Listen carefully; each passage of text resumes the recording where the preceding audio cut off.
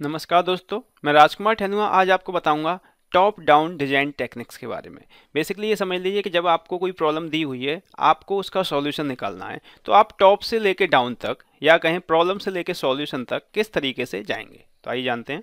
इसे हम एक फ्लो चार्ट की मदद से समझने की कोशिश करेंगे। तो सबसे पहले जैसे स्टार्ट किया हमने first of all you have to state the problem which you are trying to solve जो आप प्रॉब्लम सॉल्व करना चाह रहे हैं, उसे आपको स्टेट करना होगा, समझना होगा कि बेसिकली उसमें क्या करना है। एक बार प्रॉब्लम आपको समझ में आई क्या करना है तो आपको ये पता चल जाएगा कि उसमें कितने इनपुट्स की रिक्वायरमेंट है और कितने आउटपुट्स की रिक्वायरमेंट है। Define the required inputs and output जब प्रॉब्लम आपकी समझ में आ गई तो आपको समझ में आ गया कि इसमें कितने इनपुट्स होंगे, कितने आउटपुट्स होंगे। तो वो आप डिसाइड कर लेंगे। उसके बाद आपको एल्गोदम डिज़ाइन करनी होगी। Algorithm simply step by step solution होता है किसी प्रॉब्लम का तो आपको एल्गोदम डिज़ाइन करनी होगी। जो एल्गोदम है, हो सकता है बड़ी हो, जो सॉल्यूशन है वो काफ़ी बड़ा हो तो हम क्या कर सकते हैं, उसे डिकम्पोजिशन कर सकते हैं उसका, उसे डिकम्पोज कर सकते हैं छोटे छोटे टुकड़ों में तोड़ सकते हैं, जिससे क्या है कि उसे अलग अलग पर्सन सॉल्व कर सकते हैं, और बाद में फिर हम उसे कंबाइन कर लेंगे। तो इस तरीके से उसका डिकम्पोजिशन किया जाता है, और फिर जो हमने डिकम्पोजिशन किया, हो सकता है वो भी थोड़ा बड़ा पार्ट हो, उसे फर्दर हम डिकम्पोज कर सकते हैं इस तरीके से।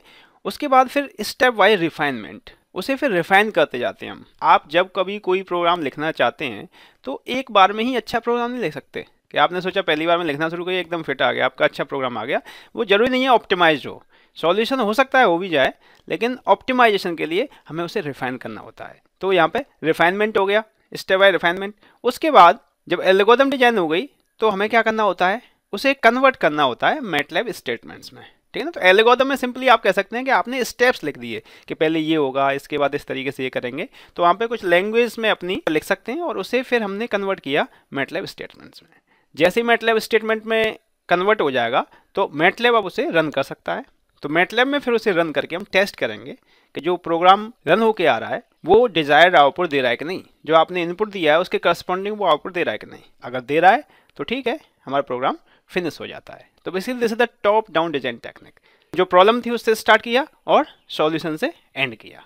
क्लियर है? तो algorithm is a step by step procedure finding the solution of a problem तो बेसिकली ये कह सकते हैं कि ये एल्गोरिथम की डेफिनेशन है कि एक स्टेप बाय स्टेप प्रोसीजर होता है for finding the solution of a problem आपको प्रॉब्लम दी हुई है, आप उसका सॉल्यूशन फाइंड करना चाह रहे हैं तो एल्गोरिथम की मदद से आप उसे फाइंड कर सकते हैं। तो the standard form that we use to describe algorithms are called constructs तो जो स्टैंडर्ड फॉर्म होती है, जिनकी मदद से हम एल्गोरिथम को डिस्क्राइब करते हैं दैट इज़ कॉल्ड कंस्ट्रक्ट्स उन्हें हम कंस्ट्रक्ट्स बेसिकली बोलते हैं। तो the constructs use to build algorithms can be described in a special way called pseudo codes तो जो कंस्ट्रक्ट हैं बेसिकली जो एल्गोरिथम को डिस्क्राइब करने के लिए यूज़ किए जाते हैं तो उन्हें हम बेसिकली रिप्रेजेंट करते हैं एक कोड की मदद से, जिसे हम जानते हैं सीडो कोड के नाम से सीडो कोड पी कोड भी कहते हैं। तो pseudo code is hybrid mixture of MATLAB and English ये बेसिकली हाइब्रिड मिक्सचर होगा, जिसमें मैटलैब के भी कुछ कमांड टाइप में हो सकती हैं, और इंग्लिश का। जो आप जिससे कि आप समझ पाए बेसिकली कि पर्टिकुलर स्टेप में आपको क्या करना है। बिकॉज़ हम ये कह रहे हैं कि एल्गोरिथम स्टेप बाय रिफाइनमेंट ही तो प्रॉब्लम का जो सॉल्यूशन है बेसिकली वो स्टेप बाय सॉल्यूशन करना चाह रहे हैं तो आपको समझ में आना चाहिए क्या करना है। ठीक है ना? तो यहाँ पे इंग्लिश का मिक्सचर भी होता है इसमें। तो separate line is written for each distinct idea और सेगमेंट तो सेपरेट लाइन लिखी जाती है हर एक आइडिया के लिए। एक एग्ज़ाम्पल की मदद से हम सीडो कोड लिखना समझते हैं। Write pseudo code for a MATLAB program which converts temperature from degree Fahrenheit to kelvin ये प्रॉब्लम पहले भी कर चुके हैं तो इसी के लिए सब, समझ लीजिए कि आपको सीडो कोड लिखना है। तो कैसे लिखेंगे? तो सबसे पहले आपको प्रॉब्लम को समझना होगा। जो प्रॉब्लम आपको दी हुई है, उसे समझना है। तो प्रॉब्लम हम समझ चुके हैं कि हमें डिग्री फेनेट से कैलविन में कन्वर्जन करना है टेम्परेचर का, ठीक है। तो यहाँ पर कितने नंबर ऑफ़ इनपुट्स और आउटपुट्स की रिक्वायरमेंट होगी, ये आपको नेक्स्ट स्टेप समझना है, जैसा कि हमने फ्लो चार्ट में देखा था। तो आपको पता है कि हमें एक तो इनपुट की रिक्वायरमेंट होगी, जो कि डिग्री फेनेट में होगा, और फिर हम उसकी मदद से आउटपुट निकालेंगे, जो कि कैलविन में होगा, और अंदर कैलकुलेशन करेंगे कुछ। तो सिंपल एक इनपुट और एक आउटपुट की यहाँ पर रिक्वायरमेंट है। ये आपको समझ में आ गई? ठीक है? तो सबसे पहले आप चाहेंगे कि जो इनपुट है, वो यूज़र हमें प्रोवाइड करे। तो इसके लिए जो स्टूडियो कोड लिखेंगे तो इस तरीके से हम अपने समझने के लिखेंगे to user to enter temperature degree Fahrenheit कि हमें कुछ ऐसा यहाँ प्रोविज़न करना होगा, जिससे कि यूज़र टेम्परेचर एंटर करे। ठीक है ना? तो यहाँ पे ऑब्वियस ही बात है, आपको यहाँ पे इनपुट फ़ंक्शन का इस्तेमाल करना होगा, लेकिन अभी आपने इसे जस्ट लैंग्वेज फॉर्म में लिख दिया है, जिससे कि आपको मैटलैब में कन्वर्ट करने में बाद में कोई दिक्कत नहीं होगी। ठीक है? ये सिंपल प्रोवाइड करेगा इनपुट बॉक्स यूज़र को कि टेम्परेचर उसे इनपुट करना है उसके लिए। रीड जो हम करेंगे, वो किसी वेरिएबल में हमने रीड करना होगा ऑब्वियसली तो उसे हमने टी एफ़ कह दिया टेम्परेचर इन फैनाइट इसमें हमने इसे रीड कर लिया। जो यूज़र ने वैल्यू दी, उसे हमने इस वेरिएबल में रीड कर लिया। तो बेसिकली इनपुट वेरिएबल हो गया। उसके बाद हमने क्या किया?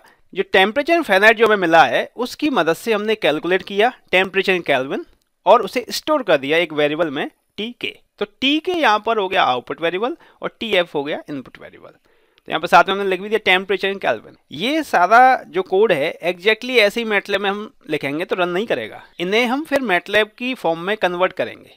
ये तो जस्ट हम एक मिक्सचर लिख रहे हैं इंग्लिश का और मेटलेब में भी। जैसे ये पर्टिकुलर इतना पोर्शन में लिखूँगा तो ये रन कर जाएगा। ठीक है ना? लेकिन ये नहीं लिखने की आपको आवश्यकता है तो ये कमेंट्स में लिख सकते हैं, ठीक है ना? तो यहाँ पे बेसिकली हम स्यूडो कोड लिख रहे हैं, जिससे कि आपको समझ में आ जाए प्रोग्राम देखते के साथ समझ में आ जाए कि बेसिकली हमें करना क्या है, ठीक है? तो स्टेप बाय स्टेप हम सॉल्यूशन कर रहे हैं प्रॉब्लम का, ये हो जाएगा।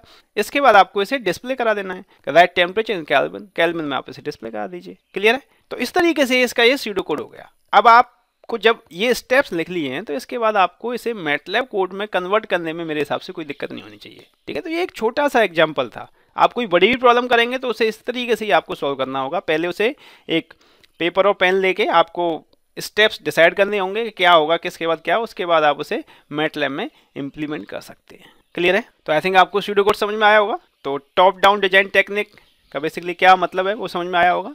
तो आई थिंक आपने इस लेक्चर को एंजॉय किया होगा। अगर आपको कोई दिक्कत है तो आप मेरे को मेल कर सकते हैं और मैं मेल आई डी मेटले भाई आके टी अगर आपको ये लेक्चर अच्छा लगा हो तो इसे लाइक करें और शेयर करें। Thank you